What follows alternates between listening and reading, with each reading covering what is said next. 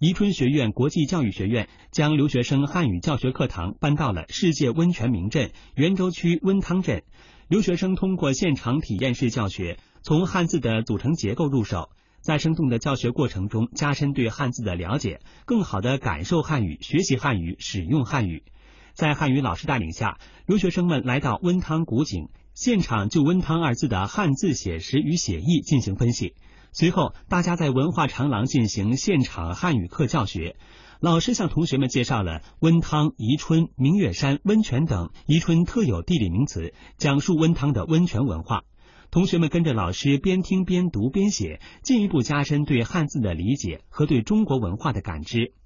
留学生们来到市城市规划展示馆参观，通过古城沙盘、建筑模型、双目成像、LED 多媒体沙盘，直观了解宜春自汉代至今的城市历史发展印记以及未来规划。